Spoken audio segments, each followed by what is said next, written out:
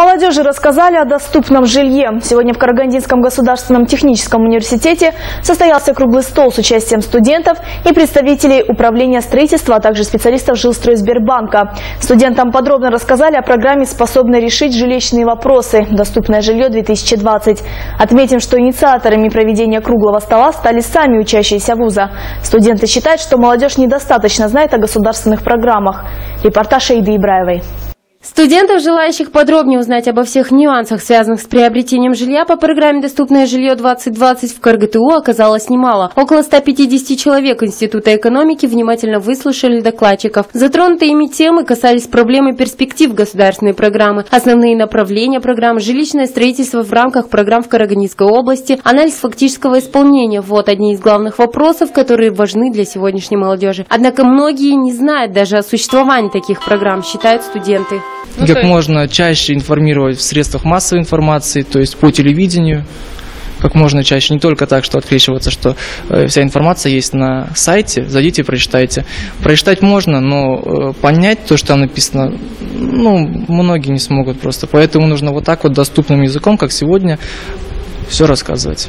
Известно, что программа «Доступное жилье» развивается в восьми направлениях, одним из которых является поддержка молодых семей. По вопросу о строительстве объектов для них, а подробную информацию предоставила заместитель начальника управления строительства Караганинской области Ольга Чернявская. В текущем году э, началось строительство э, двух домов по улице Белинского, э, Кузимбаева, Бирюзова, также 24-квартирный дом в городе Сарани начался. Вот будет в следующем году. На следующий год планируется ввести для молодых семей 233 квадратных метров жилья. И с последующим ежегодно 220 в 2014 году и до 2020 2020 года по 320 тысяч квадратных метров, э, ой, я извиняюсь, по 320 квартир э, для молодых семей. На жилье молодые семьи могут претендовать при соответствии условиям программы «Доступное жилье-2020». Как известно, реализация программы осуществляется через жилстрой Сбербанк, где действует определенная система принятия заявления. Для молодых семей в аренду с последующим выкупом э, на момент подачи заявления э, молодой семье не должно быть не более 29 лет. Период зарегистрированного брака не менее двух лет. Э, в течение пяти лет не должно быть жилья жилья на праве собственности. Ну и прописка, получается, э, прописан должен быть клиент именно в этом населенном пункте, э, где подается заявление.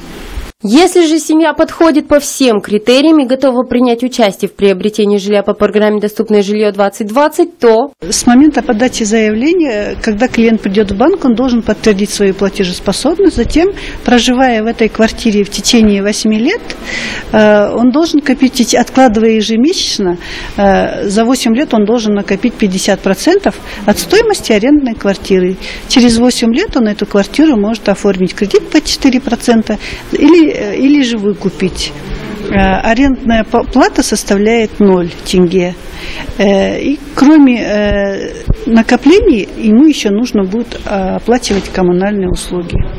Круглый стол организован студентами КРГТУ при поддержке студенческой профсоюзной организации «Жасурда». По мнению организаторов, подобные мероприятия необходимы для информированности молодежи, чтобы они знали, что государство создает все условия. Как вы знаете, прошел недавно второй съезд молодежного крыла «Жасутан», где выступил наш э, президент Нурсултан Абишевич Назарбаев, в котором четко сказал, что молодежи необходимо жилье, в частности, доступное жилье. Э, многие, много молодежь не знает о этой программе, поэтому, мне кажется, данная конференция была актуальна, так как мы постарались по максимуму донести до молодежи всю сущность данной программы. Аида Ибраева, Бауржан Алипов, Евгений Афанасьев, Первый Караганинский.